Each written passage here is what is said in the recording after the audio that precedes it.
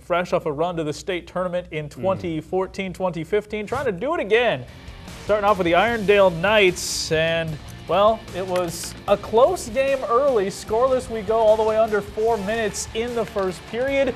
And a little jump goal out in front. Megan McKenzie puts the shot on net, and Courtney Moser chips in the redirect to make it 1 0 Bengals. Even from the high cam, it's a little tough to see, but it finds the back of the net 11 to 20, McKenzie to Moser, and the Bengals are on top 1 0. It wouldn't wait as long in the second. That's the freshman Ramsey Parent going around the near side circle, unassisted. Look at the speed, puts it underneath the pad of the goalkeeper. That made it 2 to nothing.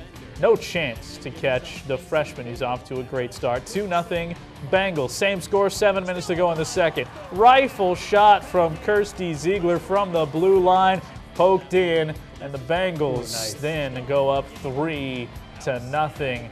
Just a Bengal type second period. They'd make it a third goal in the period. Laser beam again from the blue line. That's Emily Brown. Bengals win 4 0.